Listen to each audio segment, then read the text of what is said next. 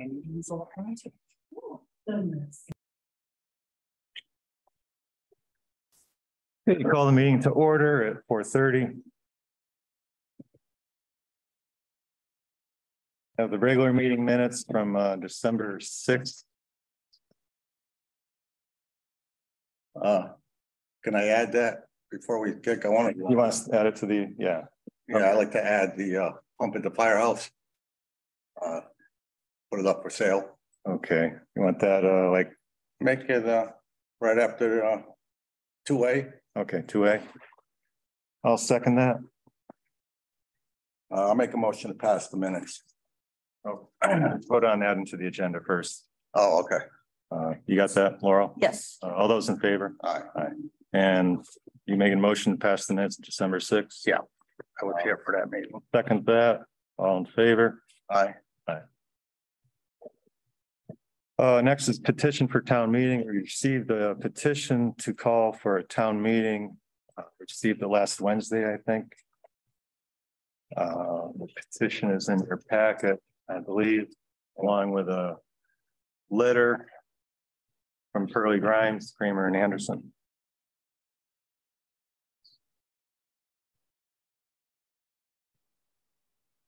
Uh, you re- you received this, I'm assuming. Yes, right. and uh, Lori uh, verified signatures.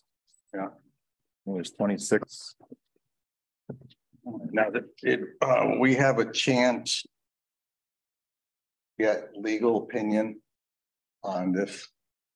Because. Let me get my thoughts straight. Right now, planning and zoning.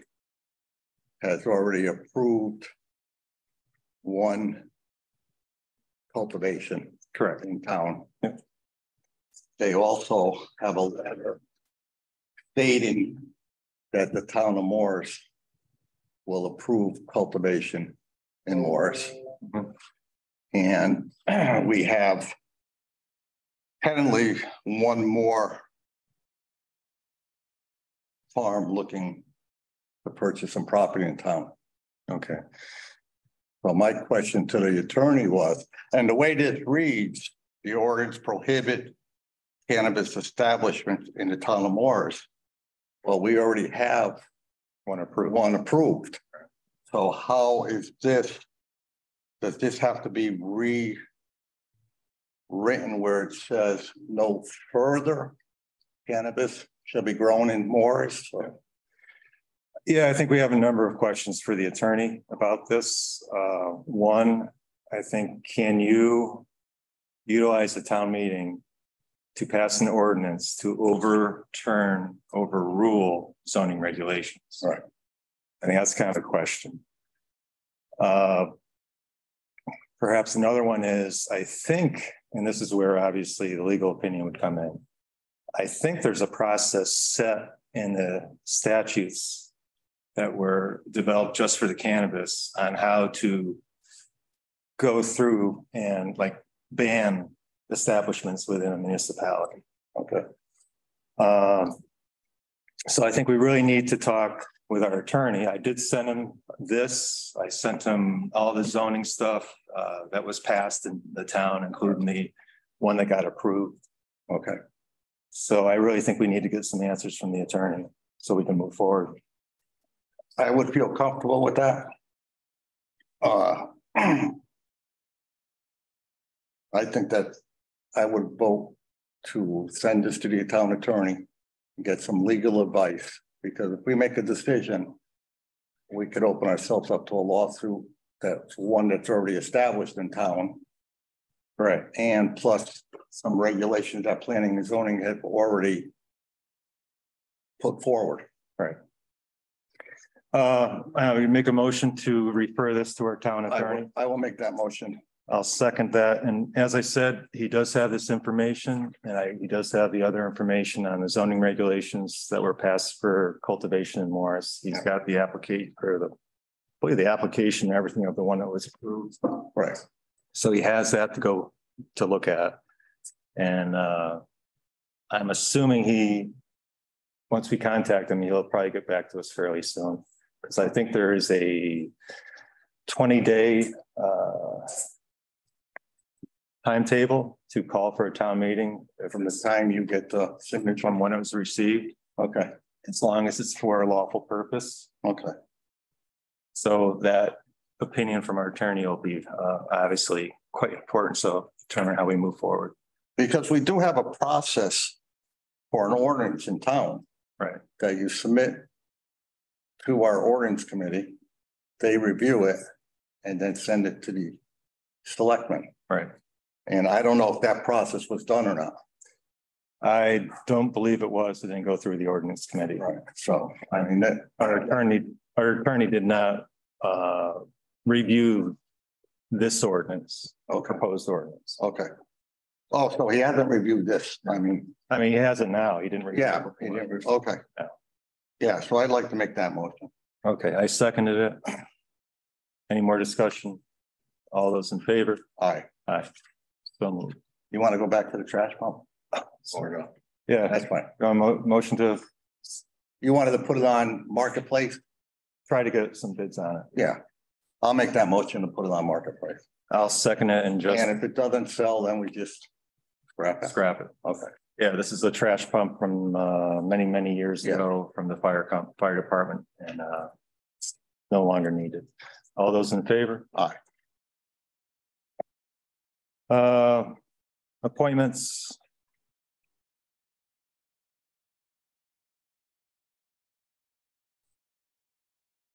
Do not know Sarah Leo. Uh, we have a beach and rec appointment.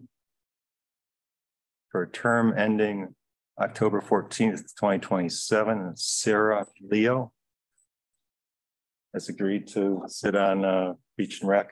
yeah, I'll make that motion to appoint. I'll second. All those in favor? Aye. That was it, Laura? Mhm. Correspondence, I had none. And public comment, we do have members of the public that would. Would like to comment.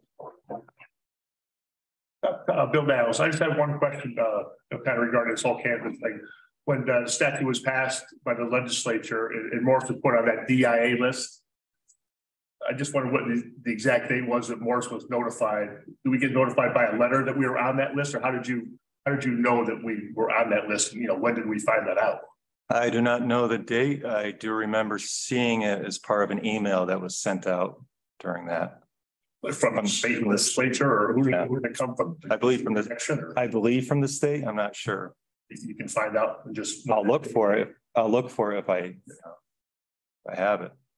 So how did the first one slip through? I mean, shouldn't something like that have come to a town meeting? You know, with the first one that was just kind of split into their home base there? Yeah. With zoning board? I believe it went through the process through zoning. I believe it. People have no say in it. The uh, regulations, there was a hearing for the regulations that townspeople could have spoken at or against before the regulations were adopted. The first one, though, was after the regulations, I guess. Well, Yeah. I, I don't know. That's a good question for zoning. Yeah, well, I mean, and I have no quandaries in asking them because it's like, you know, nothing's ever posted about stuff like that. The next thing I know, I hear from Kevin himself that, bam, there's, you know, right by him. Well, it was posted. It was posted in the newspaper. Under the legal section. They That's did, part, that's part, I don't know if you saw, did you, I don't think anybody saw the letter I. did, I did. In Waterbury, yes, I did. like not many people saw that, and I think that's part of the problem, it started when people in town, you just. Like, but, you know, how many people get the newspaper? Not everybody, not everyone has a computer to check the town website. And Like, who reads legal notices? I read them because my profession, once in a while, I know I have a client in front of a zoning board somewhere in a meeting for real estate, but who reads that stuff? Nobody. I think that's the biggest mistake the town made when all this started, when the legislation was passed. Tommy, I think you should have called a town meeting and said, this is what can happen. We need to sit down and talk about this whole thing. And, and now we got this can of worms and it's, I think it's gonna be the biggest black mark on our town that we've ever seen in hundred seventy-five years of our history. I think it's disgraceful. Anyone else? I have a question. So you- you've made a motion to send this to the town attorney for his opinion. how's that, can you explain to me how that process works at this point? I think What's gonna happen next? You're gonna send this to him, he's gonna look at it. he's gonna come back with an opinion on how to move forward with it. Okay, and how do we get informed of what his opinion is? Do we? Uh, well, well, depending on what the, Will it come up at the next uh board of selectmen meeting, which I think is January third? What, how's that process work? depending on what the opinion is, I mean, uh, if he feels we have to move forward quickly, uh, then we'd call another special board of selectmen meeting. Okay, well, we do have the holiday coming. A- Any ideas? I, I, I haven't seen the opinion yet, so I don't know. Okay. Can I ask that I be notified or my attorney notified at that point? As soon as we know how we're gonna move forward, definitely. Okay, One more question. I just, you know, for silly question, but as select people now, do you have the right as our representative to our town to, to make a motion right now at a town meeting? To place a moratorium on all cannabis activities until the attorneys decide you, you, you couldn't legally make that motion? No.